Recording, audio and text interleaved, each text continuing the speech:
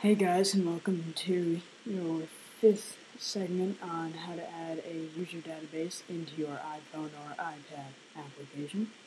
Uh, today we will be implementing uh, this code that we created in our last tutorial into a, a new, uh, our old iPhone application Xcode project, which is right here. Okay, so this is basically what we had before. I've just added a few quick things. Now there's the uh, boolForKey signed in so that if you're already signed in, it won't show the alert to create an account. Uh, also, if we don't want to sign in, you want to sign up because we're creating a new account there. So there's the few things I've added. Just pause the video, get that down. And then after that, uh, here's the code to upload the score it's really simple. All you got to do is, uh, so I just created an NS integer uh, as an example, or just uh, an example for an integer of the score, because uh, we have to upload some integer that is the score. So this is just an example on how to convert that into a string and then upload it. And then an IB action for uploading the score. And then so in the IB action in our .m file, uh, just pause the video, get this down. I'm going to explain it right now though. So basically what it is is you're creating an NS string from the integer score.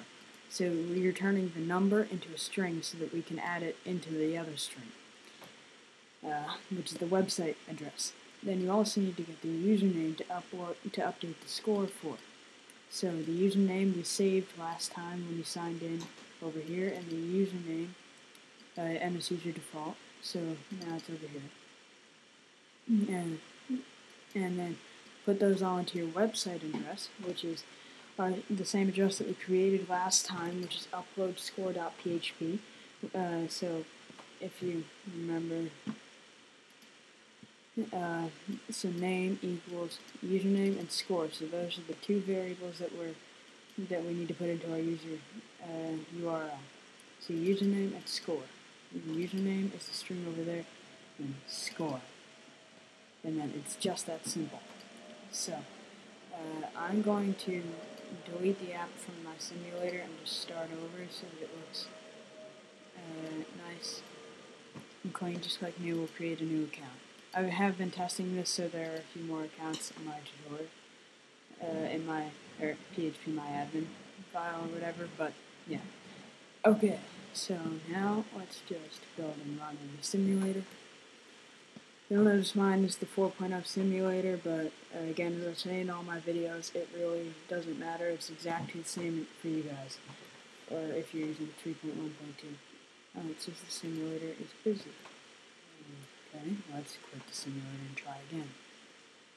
Loading into the simulator.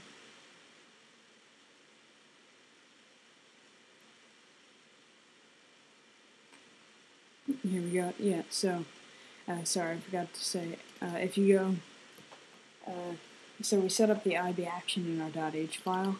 Uh, all you have to do is hook up the IB action to a button. You can call whatever you want. I just said upload high score, or upload score, just to be very explanatory. So you just drag that all the way over there. That's it. So then, in the simulator, if you tap upload score, and then if we go back over here, and is it there? Yes. Uh, you go into PHP My Admin. So these are the other users that I was creating when I tested this. Okay. Oh right, it saved uh, our username from last time. So. Uh,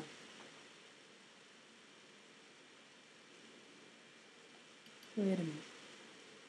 Oh. I'm sorry. Okay. I did one wrong thing over here in the signed in. It didn't create a new account, so it didn't upload the high score correctly. Okay. So over here, when it checks to see if you're already signed in, which I told you about before when I started this up, um, this is a lot of code to copy down, so I created uh, it and showed you guys because this would have been like 20 minutes otherwise. So, here. So it's asking if, so it says if you are signed in, uh, then show the alert. But we don't want it to show the alert if you're signed in. So you uh, do a little exclamation point in front of it saying, so if you're not signed in, now it should work like that. So save, building on, okay.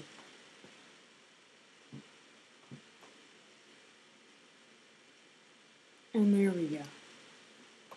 Okay, so let's just create a username and test user two or user two password. And then sign up.